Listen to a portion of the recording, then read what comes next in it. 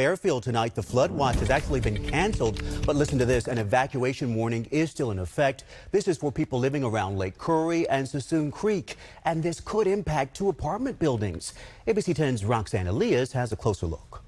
An evacuation warning is in effect for areas of Fairfield where flooding could cause potential threats to life and property. And that's primarily because of Lake Curry and then also Suisun Creek. So Lake Curry right now is at about 375 feet.